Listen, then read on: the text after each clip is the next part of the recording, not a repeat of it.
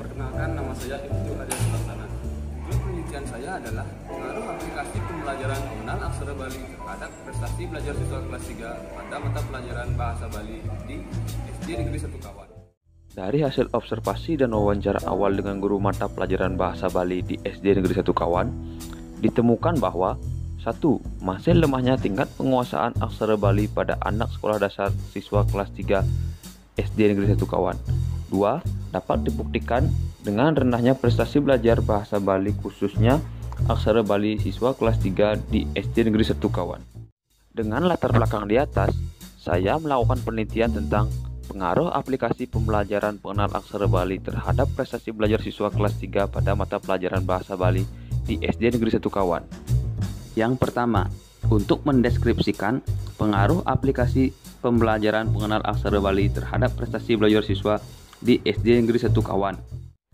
Metode yang digunakan pada penelitian ini adalah metode template matching, di mana terdapat dua variabel yaitu yang pertama variabel bebas, di mana variabel bebas yang dimaksud dalam penelitian ini adalah aplikasi pembelajaran pengenal aksara Bali.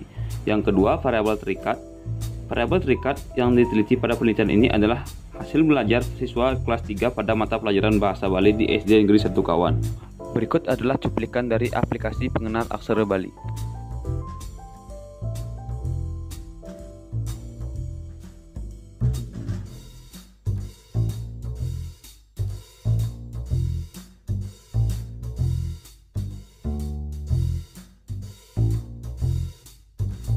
Hasil dari penelitian ini diperoleh signifikansi prestasi belajar bahasa Bali kelompok eksperimen sebanyak 0,200 lebih besar dari 0,05 dan kelompok kontrol sebanyak 0,143 lebih besar dari 0,05.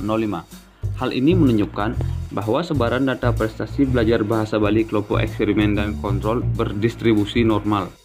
Dapat diambil kesimpulan dari penelitian ini yang pertama, Aplikasi pembelajaran pengenal aksara Bali berpengaruh terhadap prestasi belajar siswa pada mata pelajaran bahasa Bali di SD Negeri Satu Kawan. Hal ini dapat dilihat dari perolehan skor rata-rata tes prestasi belajar siswa pada kelompok eksperimen lebih besar dari kelompok kontrol.